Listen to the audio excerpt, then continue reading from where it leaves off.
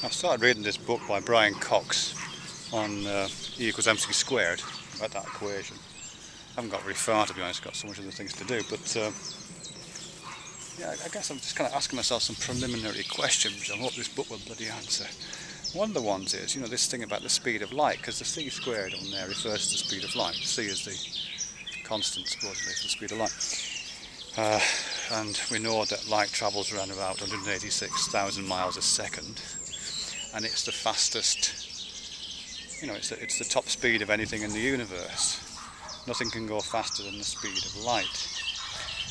Well, why is that then? or more, more precisely, why, why is the speed of light the fastest? Why, what's the significance of it being light? I can kind of understand the logic there being a, a, a maximum speed, kind of. Um, and the relationship between speed and mass and those other bits that feed into that equation.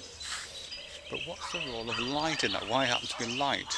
You know, why isn't there a speed for light, which is a certain speed, and then there's a bit faster than that, and that's like the maximum speed?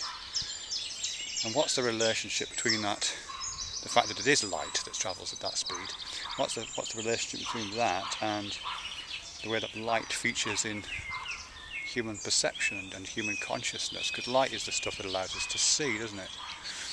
And uh, you know, when we talk about seeing, we're really talking about light. Yeah.